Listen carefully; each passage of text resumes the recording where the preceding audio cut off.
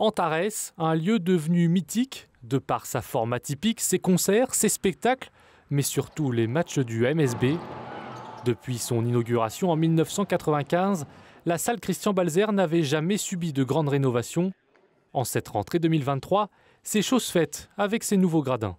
On a mécanisé les tribunes télescopiques, elles ne l'étaient pas toutes, il y en a 3 sur 4 aujourd'hui qui sont mécanisées, et on a remplacé toutes les assises pour que quel que soit l'endroit où vous soyez assis demain, eh bien, vous soyez mieux assis qu'hier. Voilà.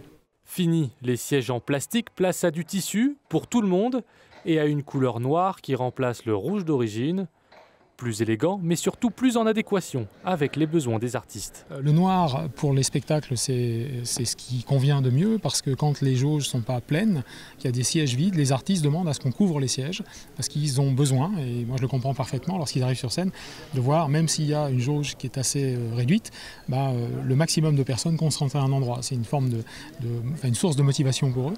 Et donc là, le fait de ne plus avoir à couvrir tous les sièges et d'avoir un noir sale complet qu'on obtient plus facilement, bah, c'est à la fois euh, économiquement plus intéressant et visuellement plus intéressant pour les artistes. Avec ses 6000 places en configuration basket, la nouvelle salle est aussi un atout pour le MSB qui espère bien séduire de nouveaux partenaires.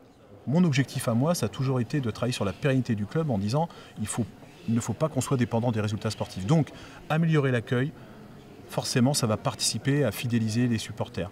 Euh, pouvoir commercialiser plus de sièges VIP, de meilleures prestations, ça va participer à fidéliser nos partenaires privés et donc à assurer un minimum de roulement sur le budget. D'autres travaux suivront comme le remplacement des écrans ou l'installation de panneaux photovoltaïques à l'extérieur. Les nouveaux gradins seront quant à eux inaugurés lors du match MSB Blois samedi 23 septembre.